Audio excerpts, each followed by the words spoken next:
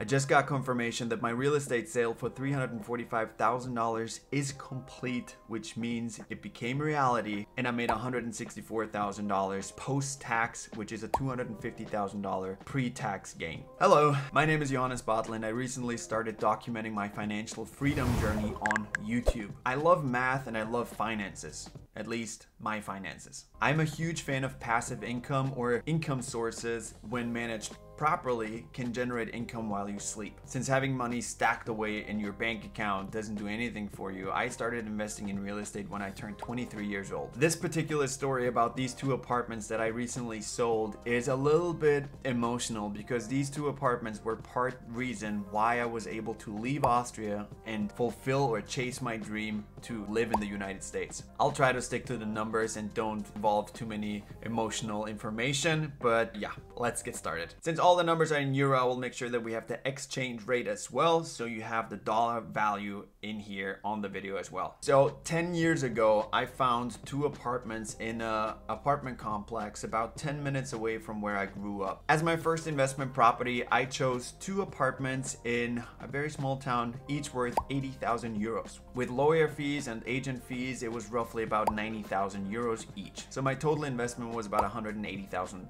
euros. I always want to say dollars, it's euros. And no, I wasn't smart enough to take out a loan, you know, invest my money elsewhere, make more money that way, and just pay it back like that. It never happened. I paid in cash. Yeah. I grew up in an environment where I thought debt was bad and uh, credit card is for people who don't have money and cash is king. I know it's hard to believe, but it is what it is. Anyways, let's jump back to the two apartments that I now own. The feeling when I signed the contract, knowing that my 180,000 euro will now generate me a monthly income of roughly 800 euros was phenomenal. I knew my money was just sitting in the bank account, generating absolutely no money, and now putting it into this property or these two properties, I was now able to get 800 euros, roughly 800 euros each month. That's a 5.5% return on my investment pre-tax. So with me running my business out of Austria, I was able to deduct a lot of things like my phone bills, my internet, my uh, car in general, a small room out of my apartment because that's where I had my office. This obviously reduced my tax burden and increased my income. So for the past 10 years, for those two apartments, I received a monthly income of roughly 800 euros. And believe it or not, these two apartments were only vacant for two months out of 10 years. That's insane. And in those two months, I renovated both of the apartments to make sure they are up to date and I always have good tenants in my apartments. Turned out to be the best decision ever because, yeah, it was a brilliant, beautiful investment. So needless to say, this investment was awesome. So fast forward to 2014 when I moved to the US and studied acting and English. At that time, by the way, my English it wasn't perfect, it's still not, but it got better over time. At that time, while I was studying, I was on a student visa, which means I wasn't allowed to work at all. I was not allowed to make any kind of money in the United States. I was well prepared for that because I knew on a student visa I'm not allowed to work so I have to make sure that I have passive income before I make the move. Again I was well prepared at that point I had five properties generating income for me that basically helped me pay my bills while studying. That way I was able to fully focus on my studies instead of worrying about money. Fast forward even further when I got my O1 visa in 2017. An O1 is a talent visa where you need a sponsor to sponsor you to be in the United States. So you need a special talent or you need something that a company needs so they are willing to say, yeah, we need this guy or this girl and we're willing to pay for that. So after receiving my O1 visa, I was able to or allowed to start businesses in the United States. And of course, I was allowed to pay taxes. Taxes. Yeah, that's another reason why I sold my two apartments in Austria. Now I want to explain why I sold them in this environment where we are, where there's a lot of FUD and like high inflation, apparently a stock market crash around the corner. Because I live in the United States now, Austria does not let me deduct anything. No phone bill because I don't have a phone there. No car because I don't have a car there. I literally cannot deduct anything Instead, they penalize me with a 9,000 euro income increase just because I don't live there and I don't spend money there. What does that mean? They basically just put $9,000 on my yearly income on top of it and I have to pay taxes on those additional $9,000. This can bring me into another tax bracket which is bad because now I have to pay more taxes on money that I didn't even make.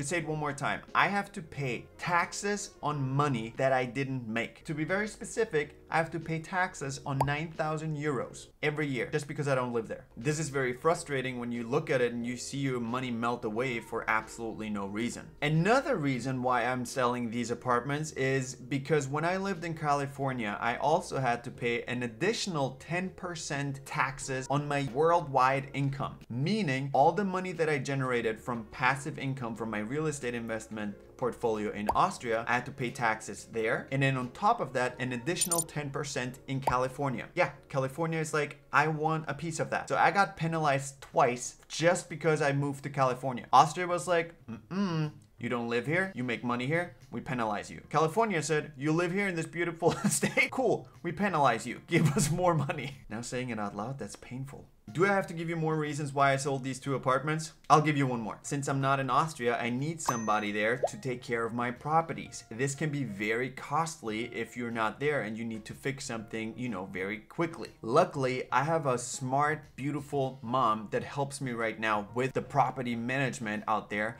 But at the current situation, I just don't want her to have that burden on her shoulders. And on top of that, she wants to move to the States. So right now, it's just the perfect timing for me to get rid of those two apartments because they don't serve me anymore. Now it became more work for me and it's costing me more than it's actually making. Does that make sense? To make it easier, I could use the money somewhere else and make more with it. So why should I hold on to something that's clearly not efficient anymore? With us being in this crazy seller's market, I wanted to take advantage of the situation and just put those two apartments up for sale. I thought it was a really good time to just see what people are willing to pay for my apartments because everybody's scared. Everybody wants to buy, buy, buy, buy, even though the prices go up in value to a point where people are like, that's way overpriced. People are still buying it. And I know what I'm talking about because I've been trying to purchase houses in California and within 17, 18, and 22 hours, houses sold for 25 to 30% over asking price after listing. At 17 hours after they listed the house, gone.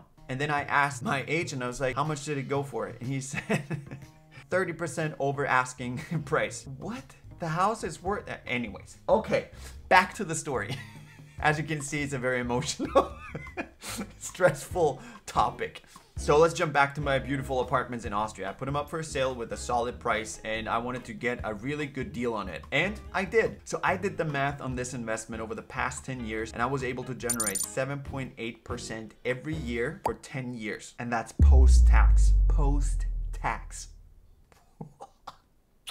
Beautiful. So what am I gonna do with that money? So first of all, I'm gonna bring all the money over into my US bank accounts and just hold it in cash. I'm still looking for a good deal in the real estate market, but currently I think it's not the best time. So I'll just hold on and just keep looking until I find the perfect fit for me. Since I'm a permanent resident of the United States now, I'm able to really focus on, you know, starting a real estate business or investment portfolio for myself here. I'm not starting a business, but just invest into real estate and basically start from scratch, sell everything in Austria and start from scratch over here and build my real estate portfolio. I'm super excited about that. Nevertheless, I'm a bit emotional because these two apartments were part reason why I was able to move to the United States and chase my dream or actually fulfill my dream to become a permanent resident in the United States. I'm extremely thankful that 10 years ago I found those two apartments. I got a really good deal on them. I was scared because it was my first investment property. I wasn't sure if I'm doing everything right. Turned out to be a great lesson for me. I made obviously small mistakes, but over the long run, uh, it turned out to be a phenomenal investment. 7.8% post-tax is incredible. Yeah, I'm ready to say goodbye to those two apartments and reinvest the money in the US market now. If you're interested to see my first US property, make sure to subscribe. I will definitely keep you guys in the loop as soon as I found something, signed it, and have the key in my hand. If you're still watching this video, thank you so much. I appreciate your time. Have a great day.